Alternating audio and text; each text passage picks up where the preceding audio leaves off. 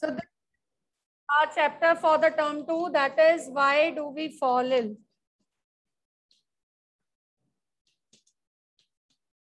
The chapter is why do we fall ill? Keep on writing whatsoever I'm giving you here on the board or I'm speaking out. Write the notes you are to create. Okay. Now, why do we fall ill?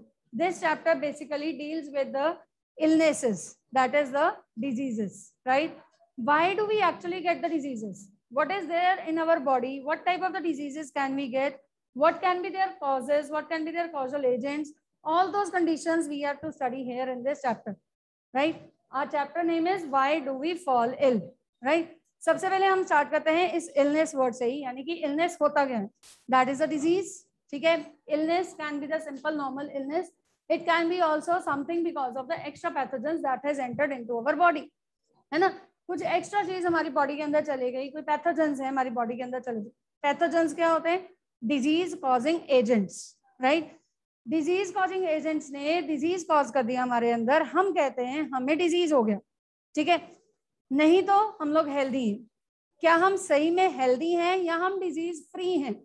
ये भी एक question है। Health में और disease free में दोनों में हमारे पास डिफरेंसेज हैं. What are those differences just hold on हाँ जी. So right on the first there are the three terms which we have to first discuss and also write it in the fair notebook and also we have to understand the meaning of these three words right that is health disease free and disease so these are the three terms that should be clear to us health disease free and disease. Health is the state of mind or the body that which says that we are physically, socially, and mentally fit.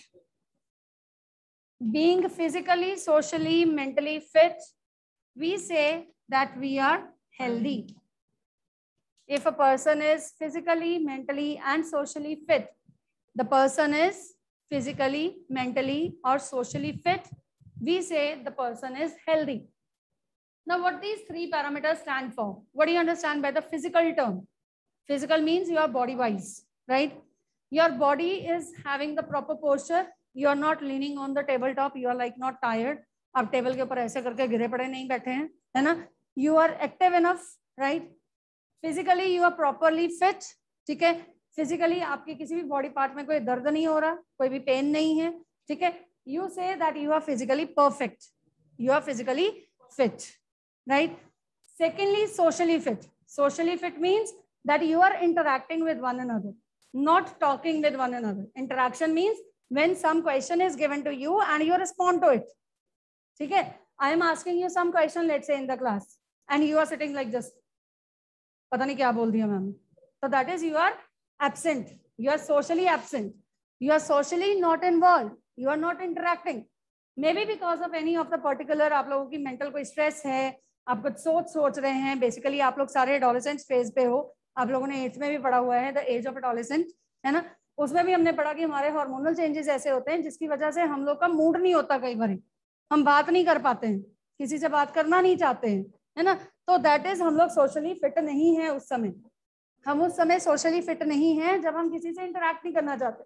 कोई आपसे आपके पास आके बैठा है, आपका friend बैठा है, कोई फ्री टाइम चल रहा है, वो आपसे बातें करी जा रहा है, वो बोली जा रहा है, बोली जा रहा है, बोली जा रहा है and you are not responding to him you are neither in yes nor in the noes है ना? आप हो भी, नहीं भी हो, ऐसा कुछ, है ना? So then we say you are not socially interacting so you are not socially fit right similar is the state of mind, that is the mental status mentally you are absent we always say the teachers always point out to the students, those who are physically present and mentally absent, है ना?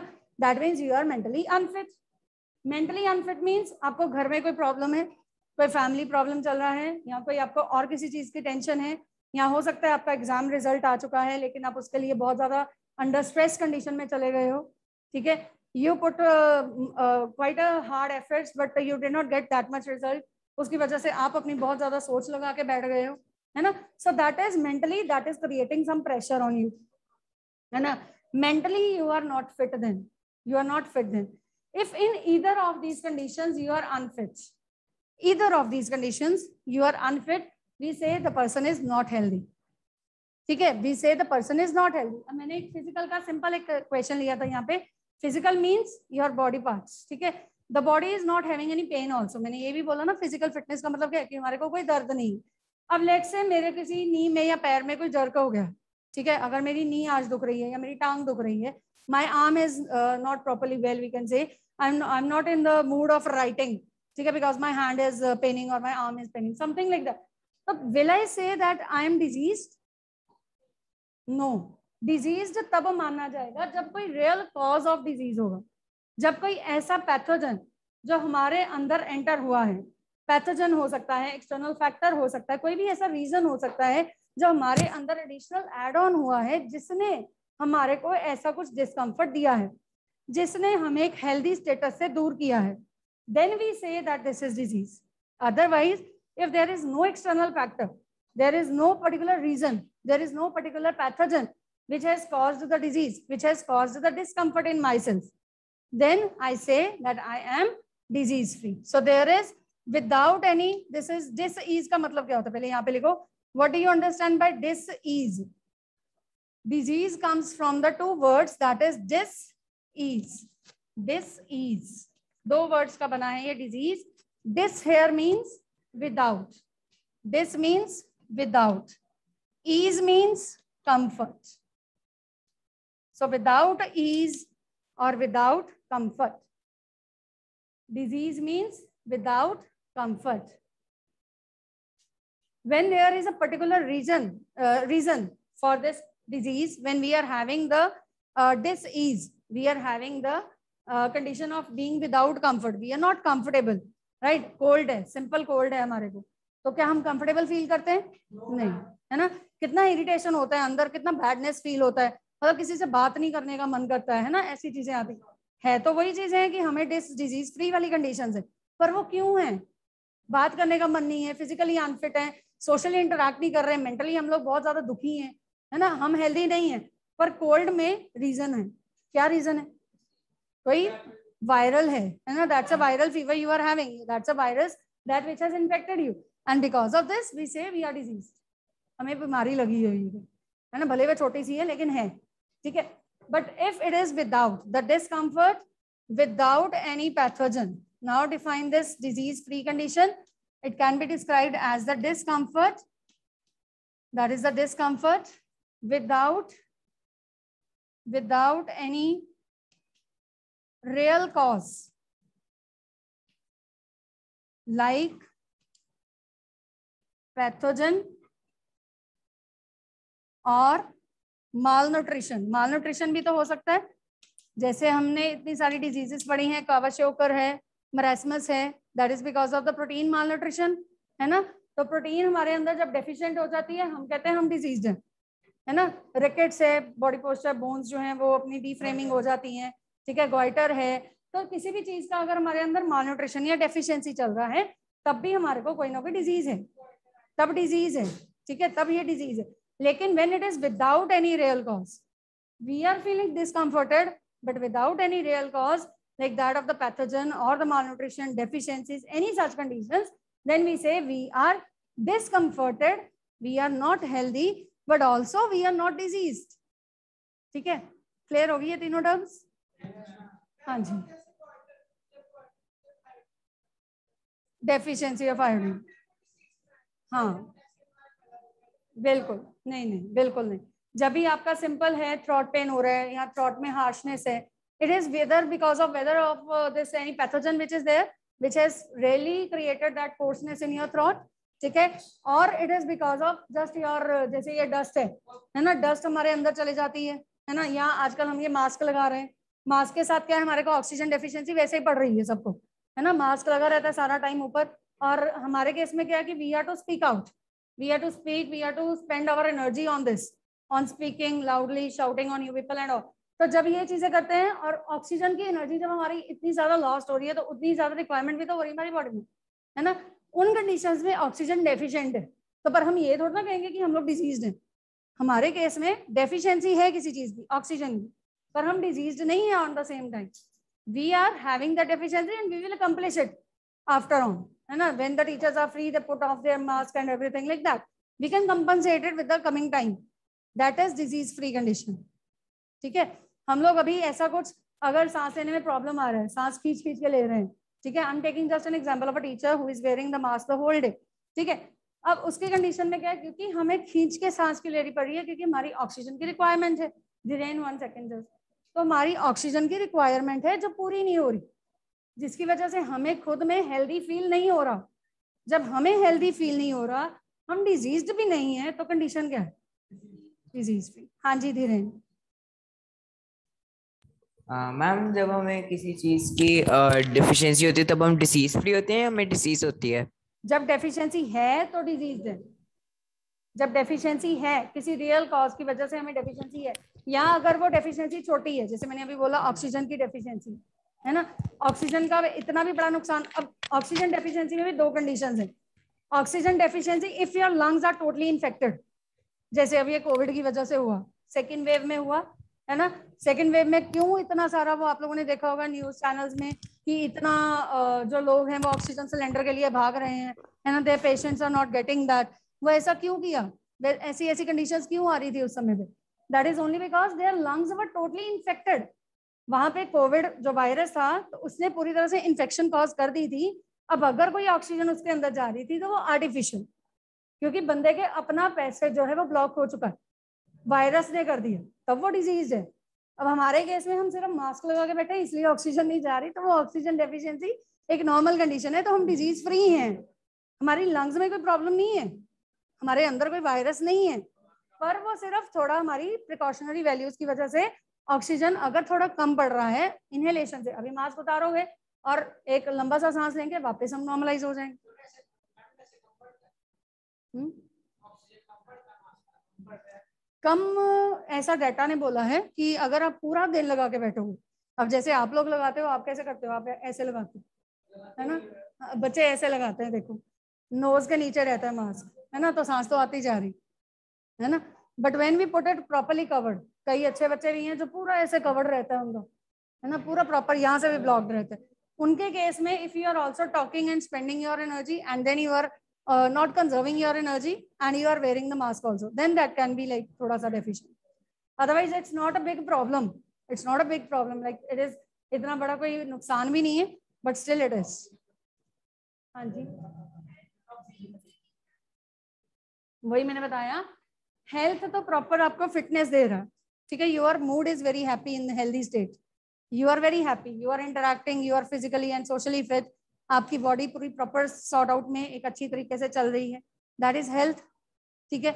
When you are happy enough you are healthy है ना? In short we can say but discomforted but without any cause of reason any cause of that discomfort sorry then we say we are disease free but if they are discomforted and also there is a reason then we are disease ठीक है? तो nutshell में clear हो गया तीनों? हाँ जी clear है? तीनों terms why i'm emphasizing here on this much these three terms there were some days like when uh, earlier in the earlier exams FASA paper होते थे तो उस टाइम पे ये वाला क्वेश्चन फाइव मार्क्स में आया था तो differentiate the three terms with example ठीक है here I have given you the example that of the very common language like common cold हो गया यहाँ हमें ऑक्सीजन मास्क की वजह से नहीं आया तो हम लोगों ने बात कर ली है ना तो हमने बहुत सिंपल सिंपल सी लैंग्वेज में आपको एग्ज़ाम्पल दे दी है ना पर आपकी पर आपकी जो एनसीआरटी बुक है, उसमें एग्ज़ाम्पल दिया है किसी सिंगर का म्यूजिशियंस का, ठीक है? There was a singer he was having a concert and all and he could not speak he could not sing the song because of his bad throat and all ऐसी condition उन्होंने समझाई, ठीक है? So that was a question in your papers and the papers at that time use to come from the boards ठीक है? उस समय boards में आते थे तो इसीलिए मैं ये हमेशा उसके बाद बच्चों को करवाने लग गई हूँ। आप भी अपनी फेयर कॉपी पे लिखेंगे इसको अच्छे से तीनों डेफिनेशन को समझाएँगे पहले एंड देन तीनों टर्म्स को कोरिलेट करेंगे विद वन एग्ज़ाम्पल ठीक है? मैं दोबारा फिर से ये बता रही हूँ आपको just in the summarize form just listen health is when your everything is going smooth you are physically, socially, mentally, you are fit. We say we are healthy. We are interacting with the class students. We are giving the answer to the teacher. We are mentally present in the class. We are listening and we are grasping. We are healthy. Okay. we are discomforted, but not because of any pathogen that, that has entered inside our body. We are discomforted because of maybe there is some stress in our mind, because of something like the hormonal changes are there. That is not a disease. Then we say we are discomforted, we are disease free. कोई pathogen नहीं है, कोई cause नहीं है, तब हम disease free हैं। पर जब पैथोजन भी है और हम भी डिस्कम्फर्टेड है, तब ये डिज़ीज़ कंडीशन ठीक है? डिज़ीज़ फ्री जो है वो इन दोनों की मिक्सड है। यहाँ पे भी, यहाँ पे भी। हेल्थ में पैथोजन नहीं होता, तब हम खुश रहते हैं, है ना? और यहाँ पे डिस्कम्फर्ट होता है। तो डिस्कम्फर्ट और पैथोजन ना होना, दोनों इकट्ठे यहाँ पे कर दो। ठीक है? उधर से कौन सा फीचर आया? डिस्कम्फर्ट होना। यहाँ से कौन सा फीचर गया? पैथोजन का ना होना। तो दोनों मिक्स हो गए तो this is an intermediate stage disease free okay so write down the first question for your fair copies write it down the first question that you have to do in the fair notebooks describe describe health, comma, disease free describe health comma disease free comma disease conditions health disease free and disease conditions with example now you will be writing in the fair notebook as per your five mark question ठीक है उस तरीके से समझाना अब ये छोटा सा पैराग्राफ ये दो लाइनों का डेफिनेशन ये दो दो लाइंस का बना दिया और आंसर खत्म कर दिया ऐसा नहीं करना ठीक है हाँ जी जब we are like crying and we are having the mood of crying और we are overwhelmed and we are having the very happy mood because of no reason we are disease ये आपकी एडोलिसेंट चेंजेस हैं। आप लोगों ने पढ़ा ना eight में कि कई बार हम लोग इतने खुश होते हैं, हमें रीजन नहीं पता होता हम खुश क्यों है। ना? आज मैं बहुत ज़्यादा खुश हूँ। पर क्यों हूँ? ये नहीं पता। आज मेरा रोने का मन कर रहा है। सच्ची मेरा मन कर रहा है, मैं रो ही पढ़ू बस अभी। पर क्यों? वही नहीं पता। है ना? ऐसा कहीं ना मम्मी पापा ने डांटा ना किसी फ्रेंड ने कुछ बोला ना किसी टीचर ने कोई बेस्ती बेस्ती की तो फिर भी हमारा रोने का मन क्यों कर रहा है? Because of no reason we are ready to cry है ना? We are feeling to cry we are feeling to just fly off from this world and just fly on this in this sky तो ऐसी वाली जो हमारी extremes वाली जो mood uh, swings होती है ना एक्सट्रीम कंडीशंस में जो मूड स्विंग्स आती है that is because of the hormonal changes within our body ठीक है? They are the mood swings and that is again because of the are hormones and we say we are disease free at that time we are discomforted mental status हमारा खराब है है ना? हम लोग रोना चाहते हैं बिना वजह। क्यों? पता ही नहीं है। तो हम लोग डिज़ीज़ फ्री हैं। तो कोरिलेटर टर्म्स मैंने बोला जैसे म्यूजिशियन ही है हमारा। ठीक है? म्यूजिशियन है he was healthy enough he went to the concert and he was very much healthy enough he was ready with all the concept in the mind कि मैंने ये गाना है ये फ़र्स्ट होगा, ये स्टार्टिंग होगा, ये एंड होगा, है ना? जो लास्ट पंचिंग मूड्स होते हैं, जो भी उनके। He was having the proper physical fitness and social mental everything was done he was prepared initially when he went there, he had some coarseness in the throat. ठीक है? कोर्सनेस आया, गला खराब हो गया, उसको डिस्कम्फर्ट होना शुरू हो गया। He was not ready to sing like उसके बाद थोड़ा और समय बीता तो he was like having the coughness proper उसका कोल्ड वगैरह शुरू हो गया, यहाँ कह लो। यहाँ उसके बाद उसका प्रॉपर ही ब्रेकडाउन हो गया मेंटल पूरा पूरा प्रॉपर मेंटली ब्रेक डाउन हो गया। क्यों? क्योंकि अब वो पूरी तरह से ठीक ही नहीं है। यहाँ हम कह सकते हैं कि पहले उसमें गले में कोर्सनेस थी, बाद में उसके बॉडी एक आना शुरू हो गया। ठीक है? बिकॉज़ ऑफ़ दैट टेंशन में भी उसके गले में दर्द आना शुरू हो गया, फिर बॉडी एक आना शुरू हो गया। And hence he found out that he was having some internal problem क्योंकि कोल्ड जब होता है, अब कोल्ड हुआ। एक बच्चे का कोल्ड है सपोज़ हमारी क्लास में। वो कॉर्नर बेंच पे बैठा है, ठीक है लास्ट बेंच पे। तो वहाँ कॉर्नर में अगर कोई बच्चा बैठा है I am not saying of him last corner में कोई भी नहीं है अच्छा डोंट लुक देयर तो लास्ट बेंच पे कॉर्नर में बैठा है and you all are sitting far away from him right एक बिल्कुल एक्सट्रीम कॉर्नर से कॉर्नर में बच्चे के पास इन्फेक्शन आ जाएगी। पास बैठे वाले बिल्कुल फिट एंड फाइन रहेंगे। क्यों ऐसा? That is because of your own body that is your immunity immunity हाँ।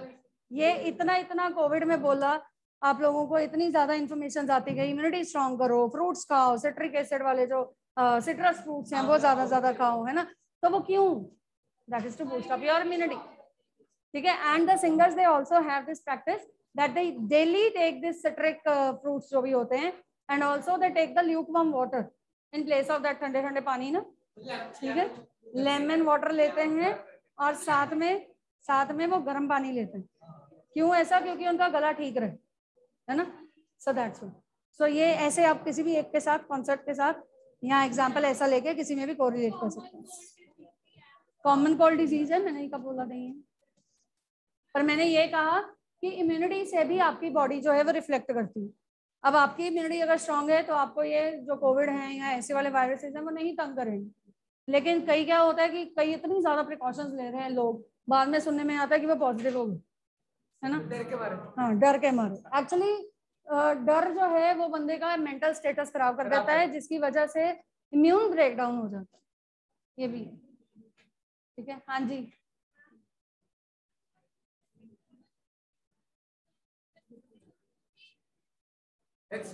That is viruses are all around us ना?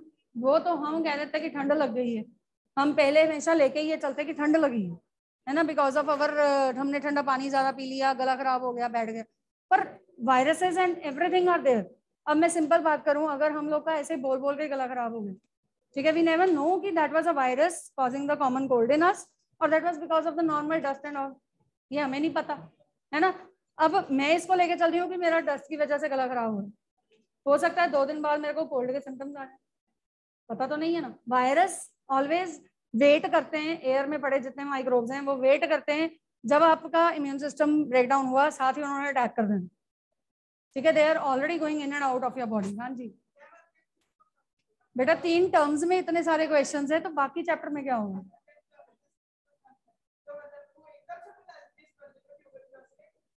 वो, जो भी सिम्टम्स आते हैं ना, वो थोड़ा टाइम पे आते हैं। क्योंकि जब भी कोई पैथोजन आपकी बॉडी में एंटर करेगा तो वो जाते ही सिम्टम्स नहीं देता।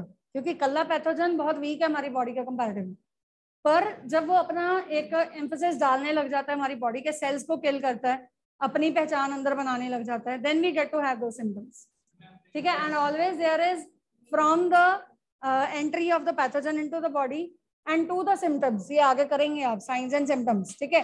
सिम्टम्स आने तक का जो सफ़र है, उसमें टाइम लगता है। ठीक है? इट इज़ नॉट इमीडिएट हाँ जी, कोई नहीं। हाँ जी, और कोई क्वेश्चन ऑनलाइन अटेंडेंस में लिखो, आर्यन, धीरेन इकजोत जयती, परमीत, सुदीक्षा एंड सुमति।